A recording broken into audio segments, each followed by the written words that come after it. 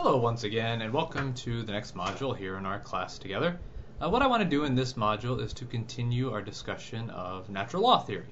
Uh, and what we're going to do specifically in this module is to uh, continue to branch off a little bit from our textbook and its introduction to the basics of Thomas's uh, natural law account uh, to include some uh, helpful principles and other topics that uh, are part of current natural law uh, discussions and are important in terms of teaching natural law to other people and also in addressing uh, some of the controversial issues that come up uh, in connection with ethics and the faith today. so if you haven't finished reading the second section of the textbook yet, I would encourage you to do that here, but we're not going to be addressing it directly in the module. Although if you do have questions about your continued reading in that, of course you can always uh, post questions about that in Blackboard, uh, either in your group forum or in the Ask the Professor uh, section on Blackboard. But what I want to start off with uh, today, then, in kind of adding some of the uh, meat to our framework of natural law from Aquinas, uh, is to look at, again, a, handful of other topics not addressed directly in the text. and the first of those is the role of conscience in natural law theory. Uh, and this is, of course, very important. Uh, when you ask somebody uh, why is something right or wrong, uh, typically, or at least in many cases, you're going to get a response that includes conscience. Right? Well, look, uh, my conscience tells me that's wrong, or my conscience tells me this is okay, even though other people say it's wrong. Uh, and a lot of people, especially some Catholics, are going to say, well, you know, we have a moral obligation to follow our conscience, and my conscience tells me this is okay. So uh, even though this might be contrary to what the church is teaching, since my conscience says it's okay, well then then I can proceed with that. Uh, and this comes up uh, quite a bit when you get into discussions of of Catholic ethics.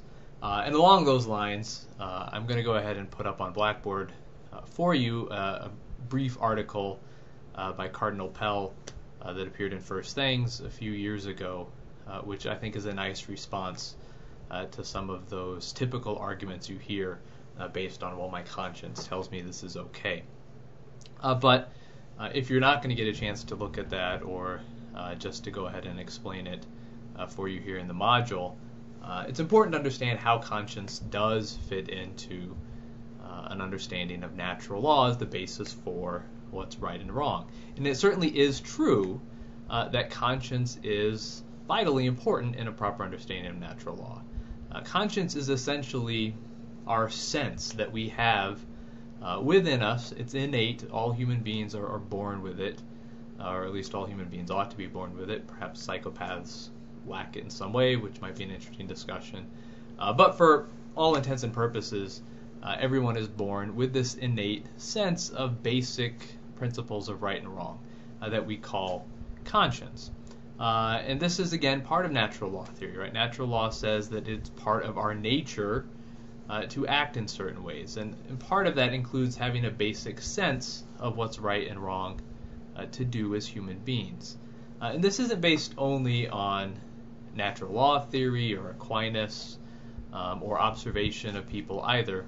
And we can certainly find precedent for this in Scripture itself, right? In Romans uh, 1 and 2, when Paul is talking about kind of the grand overview of history and how sin came into the world, uh, he talks about the fact that even the pagans um, have a sense of right and wrong.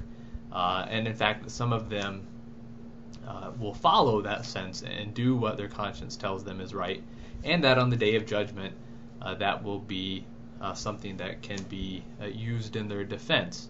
Now, again, spelling out what exactly that means uh, is, is a topic for another class, for our Church in the New Testament class. But uh, I bring that up simply to note that it's in Scripture too, this idea that everybody has this innate sense of right and wrong. Um, now, what's really important to note here, right, that this is different than society's general understanding of the conscience right? So for many people in society today, uh, your conscience is some sort of inner creative force, right? That uh, well, my conscience looks at something and determines whether this is right or wrong, uh, and it's somehow the conscience that makes up the decision or makes up the judgment. Uh, but that's not the natural law understanding of conscience, right? The natural law understanding is that our conscience is like uh, other senses that we have, right? That my eye doesn't determine what I see. Uh, my eye is a sense that allows me uh, to interpret, make sense of the light patterns that are out there in the world around me. Uh, and our conscience works in a similar way, right? That it is a, a faculty, a capacity that we have to uh, understand, perceive the natural law that is out there in the world. Um, so that has an objective uh, reality out there in the world. This means uh, that our conscience is like other capacities in that it needs to be and should be developed and strengthened, uh, right? Just as we can, if you're a musician, train your ear uh, to discern the proper harmonies, to discern uh, the proper way a piece of music should unfold. Um, an artist can train their eye, right? That we can have a basic capacity, uh, but then in certain areas of our life, we can work to improve on it. We can uh, fine tune it and develop it. Uh, we can fine tune our palate when it comes to eating or drinking. Uh, and our conscience is similar. We're born with a basic sense of right or wrong, uh, but that we need to then to build on that and to form our conscience. Right. This is the terminology we often use is forming the conscience, uh, and we do that by uh, by studying, by learning moral principles from our friends, from our family, from the church, uh, from reading, from our own life experiences. All these different things can go uh, together and contribute to a formation of our conscience. Uh, and we need to and ought to do that. Uh, of course, it also means, like other capacities, our conscience can be uh, deformed. It can be misguided and even uh, practically destroyed and uh, debilitated. Right? That if you constantly violate your conscience, if you um, train it using bad examples, uh, that over time there can be a cumulative effect to where uh, you can't really even rightly perceive the right and wrong in a situation, right? So, uh, you know, if somebody, for example, listens to uh, blaring loud heavy metal music over and over and over again, uh, eventually not only will you not develop a finer appreciation of uh, harmony and, and, musical technique, uh, you will in fact damage your capacity to hear and perceive those things. Uh, and the same thing can happen with our conscience. When we violate it over and over and over again, uh, we can really arrive at the point where our conscience becomes deadened or it becomes uh, distorted so that what we perceive as right in a situation, uh, and in fact, from the perspective of a non distorted conscience, would be clearly wrong. so it's important to know uh, that yes, we all have a conscience, uh, but our conscience can be wrong because it is a, a capacity to perceive or to sense. Uh, it's not what determines right or wrong uh, in and of itself. Now, it is true, one of the things we will often hear when you talk about this is, well, we have a moral obligation to follow our conscience, and my conscience is telling me this is okay. Well, again, one thing to point out is uh, yes, your conscience can be wrong, uh, but yet, it, it is true that you do have a moral obligation to follow your conscience, right? If you really believe something is right, uh, then you ought to do it. And if you really believe that something is wrong, uh, then you ought not to do that. Uh, and yes, uh, you do have a moral obligation to follow that.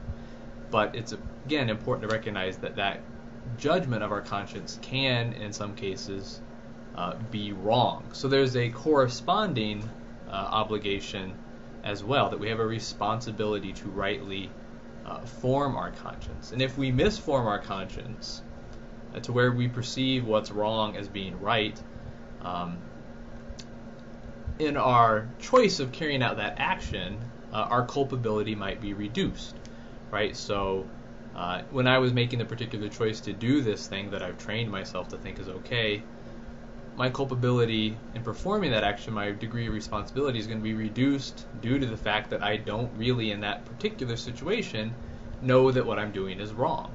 Uh, but that doesn't mean I'm off the hook. It doesn't mean I'm innocent. Um, stepping back from that particular action, I do have moral responsibility uh, for having misshapen my conscience. Uh, and again, this is similar to uh, the culpable ignorance that the textbook talked about. Uh, this would be similar to, say, for example, situations where uh, somebody uh, is intoxicated and does something uh, immoral. you know, an, an intoxicated person who crashes a car into somebody and injures or kills them, their culpability for that particular action, for, for crashing the car, uh, is going to be reduced based on the fact that they weren't really capable of uh, acting rightly in that situation. However, they are still culpable uh, for having made themselves intoxicated and putting themselves in a position to then drive. Uh, so there's still a larger responsibility for making sure that your conscience functions properly to the extent that you're able to. Um, and so that's an important thing to make sure that we can explain to people when they say, well, my conscience tells me this is okay, so it must be uh, all right. Uh, so, again, uh, hopefully that's pretty clear at this point, having read the textbook and thought about natural law a bit. Uh, but I would encourage you to, to go ahead and read that article by Cardinal Pell, uh, and to make sure that you bring this up uh, if you talk about natural law with catechists or with students, because this is one of the the issues that will often be brought up as a response to natural law. So it's important to make sure people understand uh, what the conscience really is uh, and, and, how it fits into a larger understanding uh, of Catholic ethics. All right, so we have covered conscience at this point, so let's go ahead and move on now. And now I want to turn on the next page to talk about another uh, component of natural law theory that is important and will come up quite often, and that's the principle of double effect.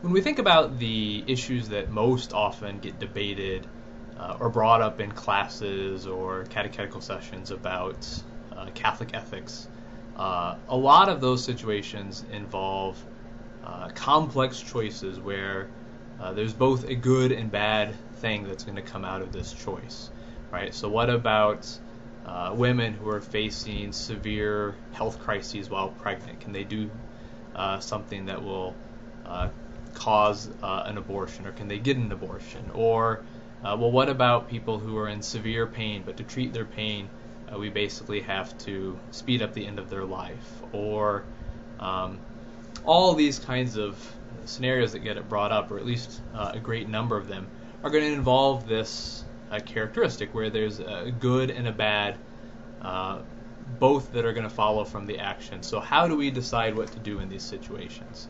right? This isn't a nice, straightforward thing where, um, well, look, this guy wants to shoot this other guy because he doesn't like him. Well, that one seems pretty straightforward. You shouldn't do that. Uh, but can he shoot the guy uh, in order to uh, bring about the end to a war that's killing thousands of other people, even though this guy isn't directly involved in it? This maybe gets a little more complicated, right? So, this is where uh, the principle of double effect uh, comes into play. Uh, the principle of double effect is really kind of a, framework. It's a guide uh, for reasoning through these sorts of complicated issues where you have multiple effects from a decision or an action. Now, it's important to clarify at the outset that this is not uh, an equation, right? This isn't some sort of magic formula that we can take uh, and plug any situation into, and it's going to spit out uh, the right answer for us. There's still going to need to be uh, as you work through these steps, uh, a good bit of a critical judgment going on and trying to figure out how does this situation fit the framework. Uh, so it's not going to be okay. Well, now we've got the principle of double effect. Now we can have black and white decision uh, on every issue without really needing to do a whole lot of work. But what the principle of double effect can do uh, is to at least set up a framework, set up uh, a process to go through in trying to sort out some of these complex issues uh, that are brought up uh, so often today, uh, and particularly uh, in some of these controversial areas like sexual ethics or medical ethics, but also in other branches uh, of ethics uh, that we'll be talking about as we go through the remainder of the course in the next one. So, what I want to do here is to just introduce the principle of double effect to you, talk a little bit about how it works, and then we can uh, again, continue the discussion of this on Blackboard, and also uh, during the weekend we can talk about some of the questions that might uh, likely follow from this brief introduction to the idea of the principle of double effect. Okay, so let's say uh, we've got this complex situation. We need to apply the principle of double effect here. How are we going to do that? Okay, well, we have to go through uh, four steps, right? There are four criteria that make up the principle of double effect. Uh, and it's important to say from the outset, right, that if any one of the four uh, is violated, that means that the act is immoral, right? So this isn't a situation, well, we got, you know, three out of four or two out of four, so we're good to go. Uh, what this is is a checklist, and each of these criteria needs to be met in order for an action to be moral according to the principle of double effect. Okay, so the first step is to uh, look at the act uh, and ask, is the act itself immoral? Uh, if the act itself is immoral, it doesn't matter if uh, one or more of the consequences from it or one or more of the effects is going to be good, uh, you can't do the act. Now, this is in some ways really just a restatement of the basic principle of natural law that you should uh, do and pursue good and avoid evil. Um, but it needs to be said, right? Because many times in society, people bring up situations where, uh, well, look, this is going to get us this great thing. This is going to save someone's life. This is going to uh, bring about this great economic benefit. Um, so doesn't that mean we can do it?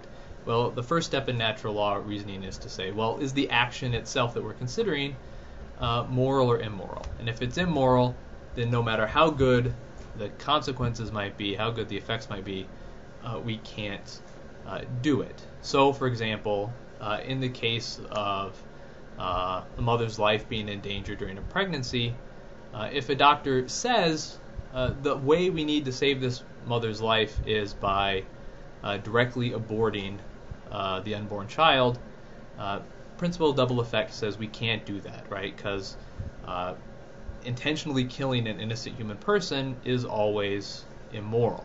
Uh, so, regardless of the consequences, regardless of the effect, if the act itself being considered is the intentional killing of uh, an innocent human person, uh, we can't do it, right? And the reasoning will stop. Um, will stop there, and there's really no reason to consider the rest of the criteria. All right, so let's uh, go on down the line. Let's say we're considering an action uh, where the act itself isn't necessarily immoral. Okay, well, what's the next step? Well, the next step is to say uh, that our intention must be for the good.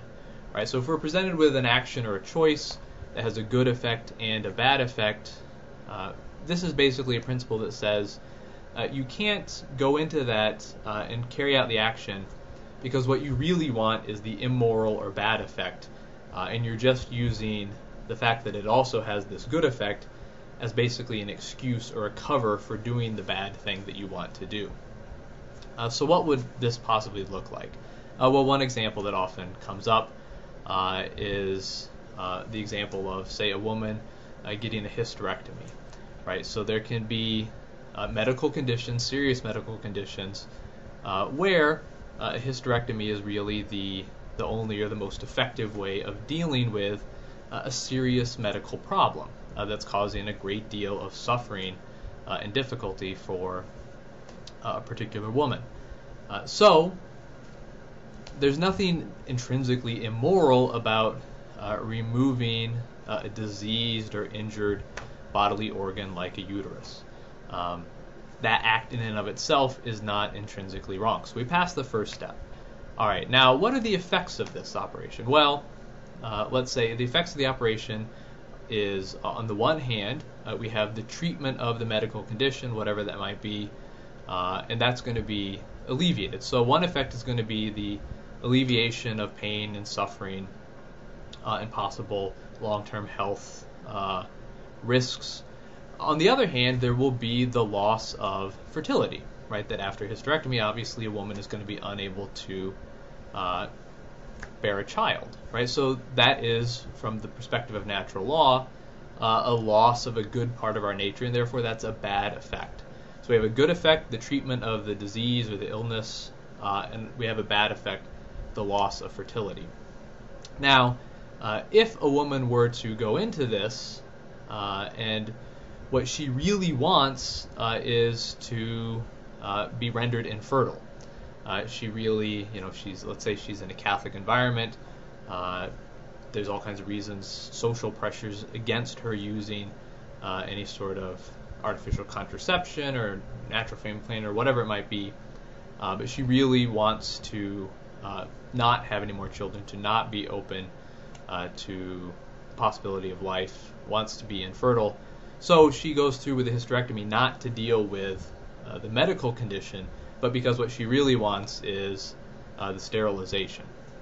That would be an example of violating uh, this second criterion of the principle of double effect.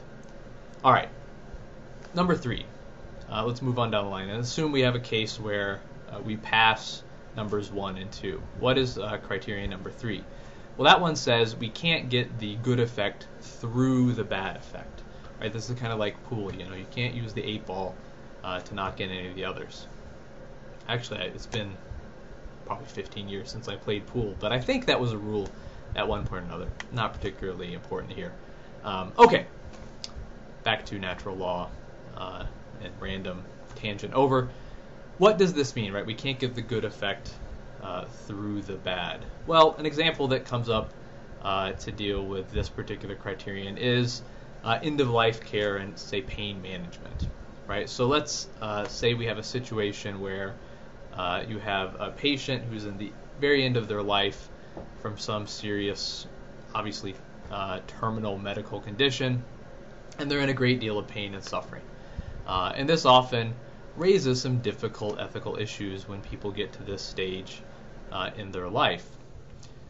Excuse me. And so, obviously, what we want to do is to help this person uh, to alleviate their pain and suffering as much as possible. Now, uh, let's say look, this patient is in a lot of pain, is not really responding to kind of ordinary pain control measures. Um, we are presented with an option of giving this patient uh, a significantly larger do- dose of pain medicine.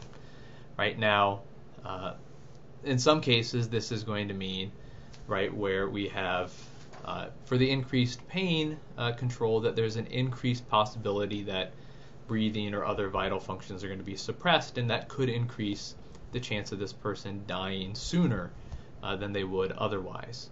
Uh, now, using the principle of double effect, um, you could have a situation like that where, in fact, all of the criteria would be met, and it could be moral, in fact, to go ahead and give uh, a higher dose of pain medicine to address the pain, even if it did mean there might be uh, a slightly earlier death or an increased risk of uh, an earlier death.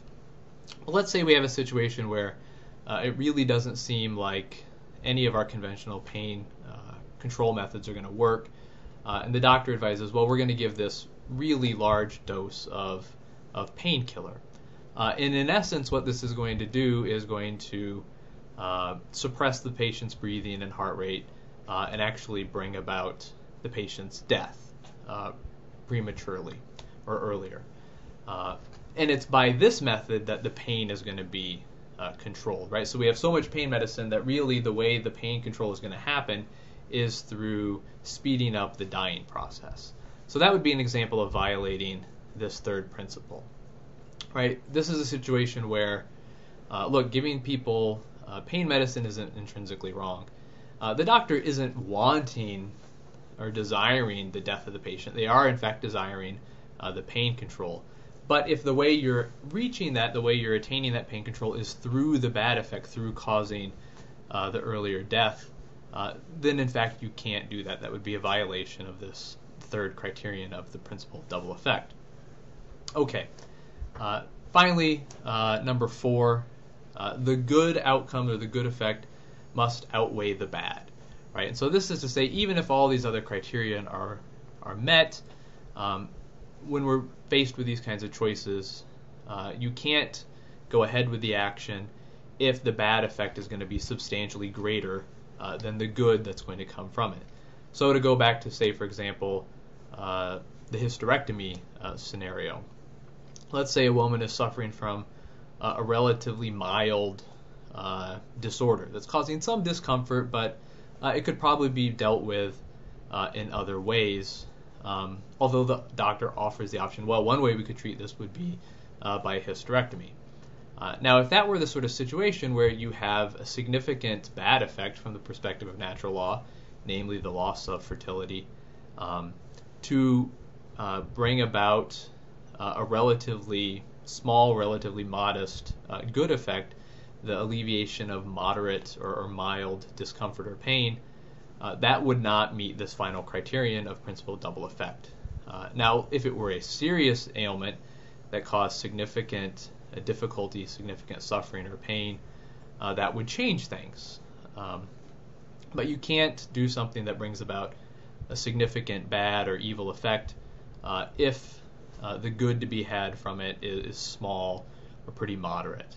Um, so that is, uh, in a relatively brief nutshell, uh, a walk through the principle of double effect. Uh, and one last thing to emphasize here before we wrap this up, and certainly I would be happy to discuss this further on Blackboard or on the weekend. Uh, it's important to emphasize when you present this um, that this is not the same as consequentialism. This is not utilitarianism. This is not saying that the ends justify the means or that whatever is going to produce the most happiness is the right thing to do. Right? From all of these steps uh, make it clear, especially step one, two, and three, um, that it's just not the goodness of the overall effects that determines whether something's right or wrong.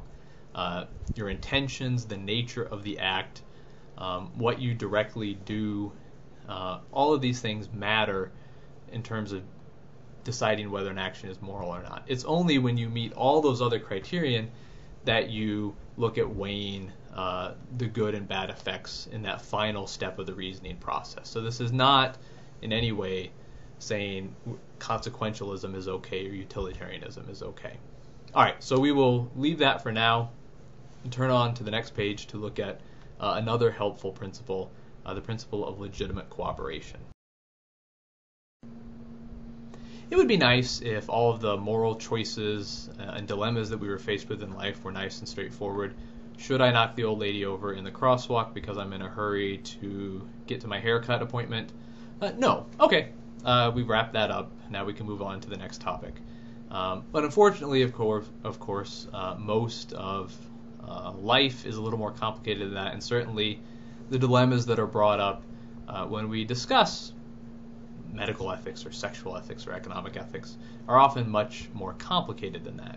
Uh, now, the principle of double effect is very useful in dealing uh, with a great number of those complicated situations.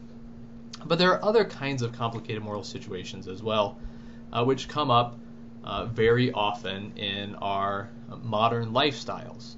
Right? There are a lot of situations where uh, it's not me directly doing something and trying to determine whether or not uh, this action is right or wrong. There are lots of things that we do, lots of actions that we share in or participate in, where we are only one uh, small part, one small participant in a much larger uh, system. Uh, right? So uh, we make many sorts of actions uh, as consumers, or as citizens, or as students, or as um, employees right? And there there are all these actions that we carry out uh, in this big, complicated, interconnected modern world of ours, where uh, my particular moral action uh, really only makes sense as part of this much larger system. Uh, and there are a lot of situations where uh, we can see that something is going wrong in this larger system, right? That the system is doing something that is wrong. Uh, and this raises then the question of okay, well, look, there's this wrong thing going on that's being done by this government or by this company uh, or by this community or institution, and I am connected with that. I'm a citizen, I'm an employee, I'm a consumer. What does this mean for me, right? What is my moral responsibility, uh, and how do I decide uh, what I need to do, what my obligations are in this situation? given that it's not as simple as me doing this bad thing. It's me being part of this much larger system that is over here doing this bad thing. How do we work through these sorts of uh, dilemmas? And these come up constantly. Uh, if you're like me, uh, I'm not on Facebook, so I'm spared some of this.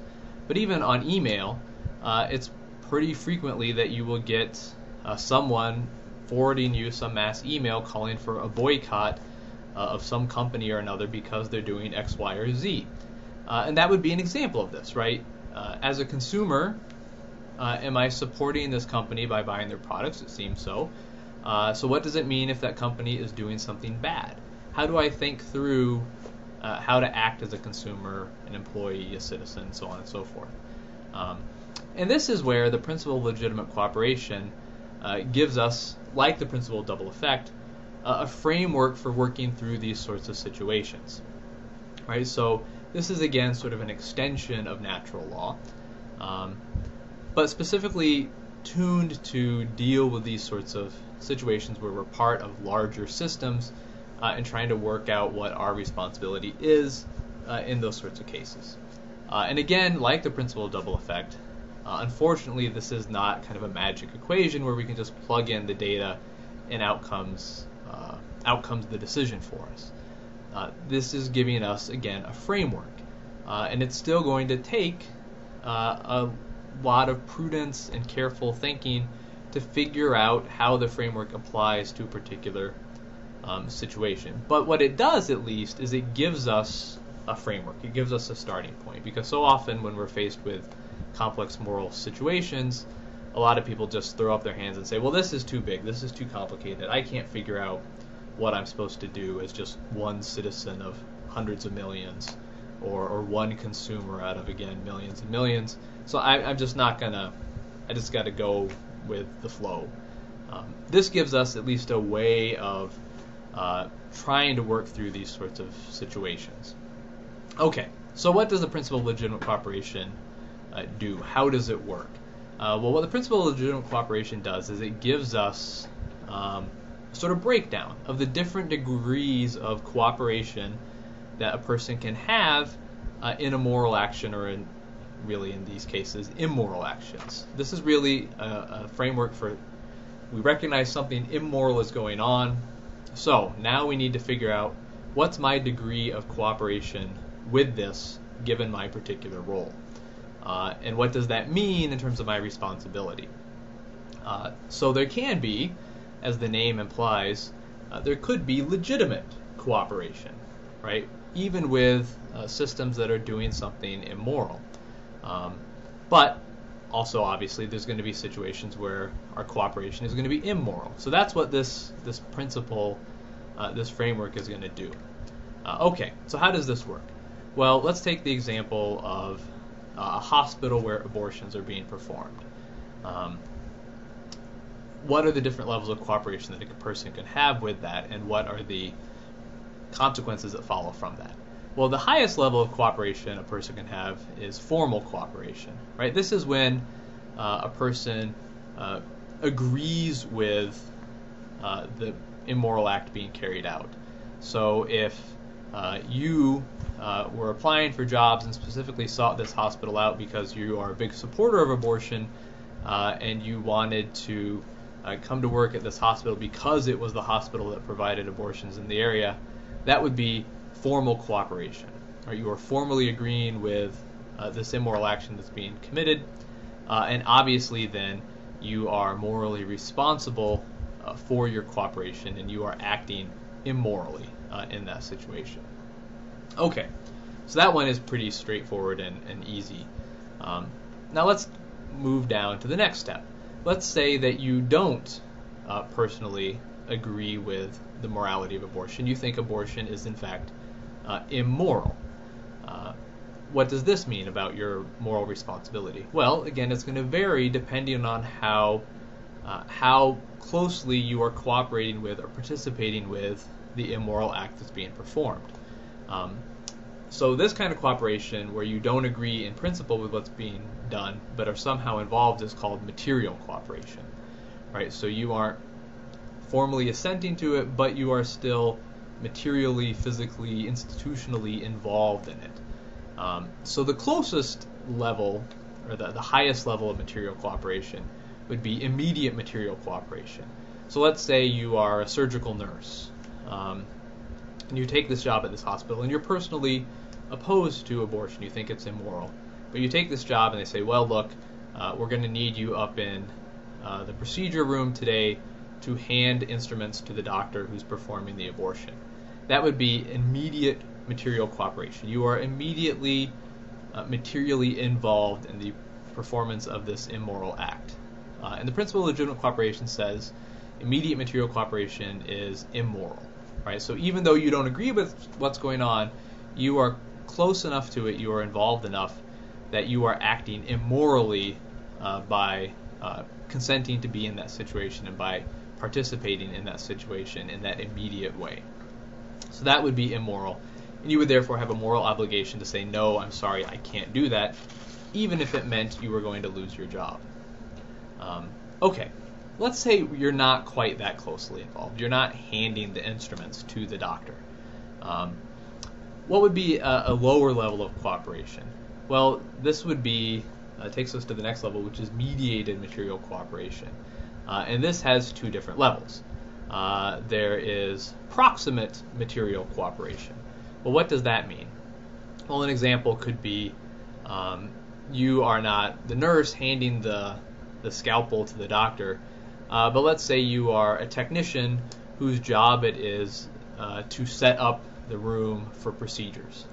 Uh, right now, if your job is to set up the room for uh, abortions to be performed, uh, that could be an example of uh, proximate material cooperation. You're right. You're not right there. You're not right in the nitty gritty, so to speak, but you are somewhat closely involved in the situation. And again, this is just a general category for helping people think through this. Um, there's no formula for figuring out what's proximate, what's immediate, uh, and what's remote, which we'll get to in a minute. But this is a, a again a general guideline. So if you are approximately involved, uh, like um, setting up the room, or if you worked in the accounting department and your specific job was uh, to work to get insurance uh, payments specifically to cover uh, abortions performed in the hospital, that could be another form of proximate uh, material cooperation. Principle of legitimate cooperation would say that that too is immoral, right? That you can't be uh, even proximately involved in an immoral action. Uh, you have a moral obligation to remove yourself from that degree degree of cooperation. Again, even if it would mean, for example, losing your job. All right, so we've obviously got one step left, uh, and if you're thinking about it, uh, for this u- rule to be very useful, uh, there needs to probably be something slightly different here, and that is in fact the case.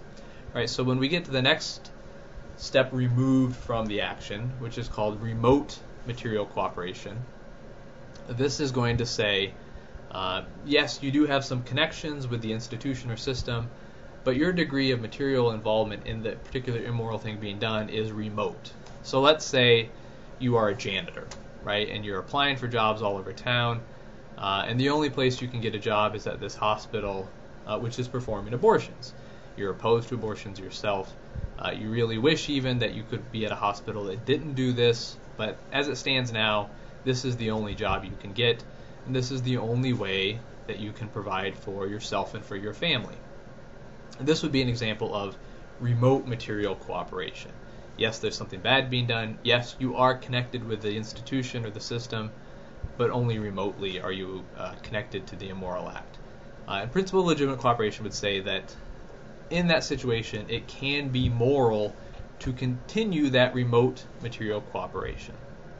Uh, so, for again, for example, uh, it seems very likely that our tax dollars are used for immoral things.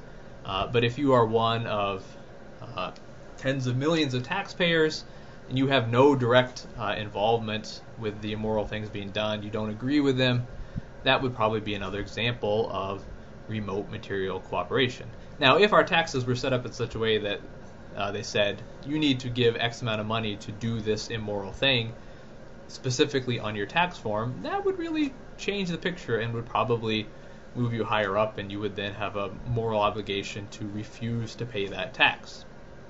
Uh, but, well, uh, that will be an issue for another day. But back to our example of the janitor, he could morally keep that job. Now, the conversation doesn't end there, however. Even if you are only remotely materially involved, uh, principle of legitimate cooperation is going to say that you ought to work to remove yourself from that cooperation if possible. Um, so, if the janitor finds out that there's another job available that can provide for him and his family, uh, where he will be at a hospital that isn't uh, performing abortions, uh, he ought to pursue that. Or if you can choose between uh, two brands of sneakers, right, and uh, you need sneakers for your particular job, let's assume, um, and you know if both uh, of your available options, these are the only two options you have, both of them are abusing child laborers overseas, um, it could be moral perhaps to buy these shoes if you absolutely have to have them and there are no other options available and you're not there, you know, cracking the whip. However, uh, if there were another option uh, that wasn't uh, abusing child labor, uh, then you would have a moral obligation to choose that uh, other option where you aren't remotely participating in this immoral action. Um, now, uh, if you're thinking through this, uh, this raises all kinds of complicated issues, right? Uh, and in many cases, there are going to be limits to uh, the amount of time and effort that we can spend in trying to find uh, morally ideal companies to do business with, right? So there are obviously going to be limits in terms of our time and energy to carry this out in every possible decision we make. Uh, but this principle is meant to help guide us in those decisions where it really comes to our attention. Look, there's this immoral thing going on. I'm involved in this system somehow. Can I continue to do that, or do I need to make some sort of drastic change, or should I just look for a possible long-term option to get out of this involvement? So that's what the principle of legitimate cooperation uh, seeks to do, and so hopefully that uh, makes a little sense. And again, we can ask questions about that certainly, uh, and we will come back to the principle as we go through the course and look at specific issues uh, in the remainder of this class and in the next one. All right, there's one last thing I wanted to end our discussion of uh, kind of random topics in natural law uh, in this module on, and that's the issue of moral absolutes. Um, and again, this isn't something addressed uh, in any real length uh, in the textbook, but it does come up uh, in discussions in natural law today quite a bit. So I think it's important for you to have an understanding of what this is referring to. Uh, and it will come up again uh, in the next module or two where we're going to look at uh, some controversies regarding whether or not there are moral absolutes. but we'll save that debate for another day. For the moment, I just want to explain what this idea means. Right, and so the um, moral absolutes are, are, particular types of moral norms. Right, so if you remember back a module or two, uh, moral norms are kind of the specific uh, moral rules, moral guides that we use to make kind of our day-to-day decisions. Thou shalt not steal is a moral norm. Uh, thou shalt not commit adultery is a moral norm.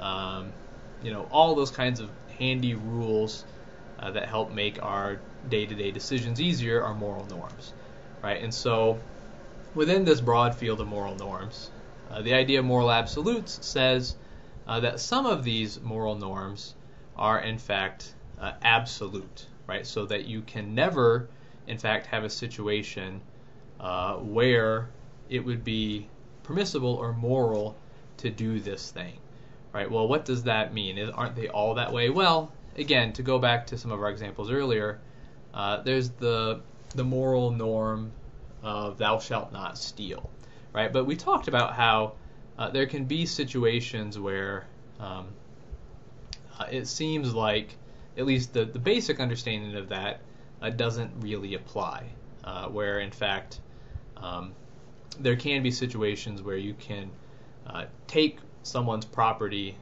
or property that's in someone's possession against their will. Um, now, that's not necessarily stealing. The real argument is in this case, um, in fact, uh, what we are doing is taking something they don't have a right to. Um, so part of it is working out well, what does the moral norm really mean? Uh, but if we even have the more basic moral norm of uh, don't take uh, objects in someone's possession against their will. Let's say that was our moral norm. It's a little clunky, but uh, in general, that would be a good moral norm. You shouldn't take um, something that is another person's possession against their will. However, that is not uh, a moral norm that's without exception. There can be cases where you can, in fact, morally take something that is in someone else's possession against their will. If, for example, uh, it's a situation where they don't really have a right to that possession. Um, so that would be an example of a moral norm that does, in fact, have an exception to it. Uh, it would be a handy moral norm to generally say you shouldn't cut off uh, people's arms. Probably a reasonable moral norm, although not a popular one because it I don't think it comes up all that often.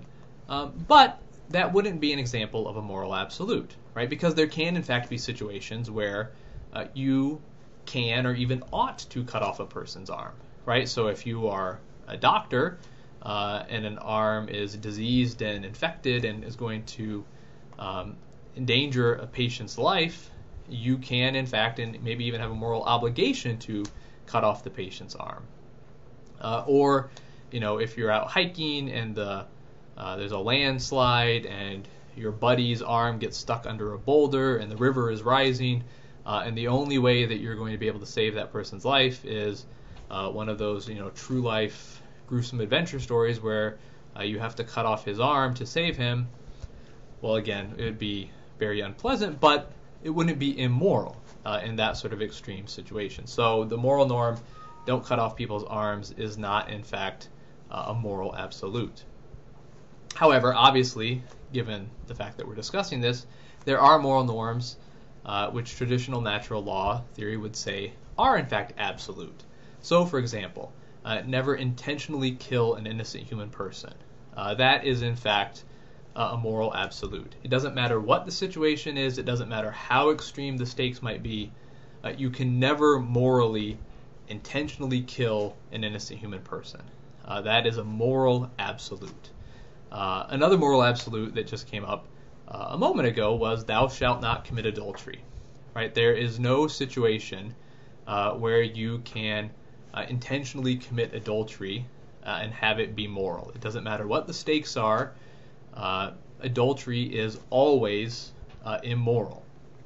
All right, So those are two kind of perhaps the most obvious examples uh, never intentionally kill an innocent human person could be shortened to thou shalt not commit murder. Uh, so don't commit murder, don't commit adultery are probably the two most straightforward moral absolutes. Um, now, there might be some people who would debate uh, the adultery one, as we've seen uh, evidence from uh, websites. Uh, not too many people make arguments for murder, but there are moral absolutes where people do debate. and so one of these is that comes up quite often in, in recent Catholic ethical debates is the issue of contraception. Uh, so many natural law theorists argue that uh, you should not uh, contracept, you should not intentionally use artificial contraception, uh, is a moral absolute. Uh, on the other hand, there are many people who argue that um, there could be situations where uh, it would be permissible, much like the cutting off the arm example. now, the particular debate and all of the issues raised by contraception is something we will get to shortly in a couple of modules here, so we'll save those arguments for the time being. But I thought it was important here uh, in this module to at least introduce this idea of moral absolutes, uh, because we will be getting to specific issues later on, like the issue of contraception, uh, and also because uh, in the next couple of modules we'll be looking at uh, some of the debates around contemporary natural law and some of the modern criticisms and even modern Catholic criticisms which include um, a movement known as proportionalism, which argues that uh, they would say they agree with many of the ideas in natural law, uh, but they disagree with the idea that there are, in fact, moral absolutes. Uh, so it's important to introduce what moral absolutes are before we get to the critics who would not deny their existence. Uh, so, though we will end uh, the module here for the moment, and we'll get to that uh, another day. As always, if you have any questions about any of this, feel free to uh, ask in the discussion board and particularly in uh, Ask the Professor, uh, and I will look for your comments and questions there.